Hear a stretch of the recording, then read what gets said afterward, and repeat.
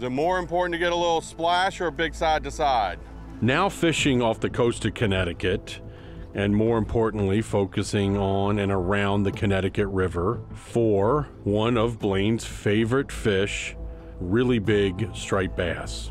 I'm surprised I didn't get bit. I'm telling you, Huh? I, I can't believe it. With the number of fish that we're seeing that are all around us, Every now and then, there are circumstances that come up that we don't really know what it is that's affecting them.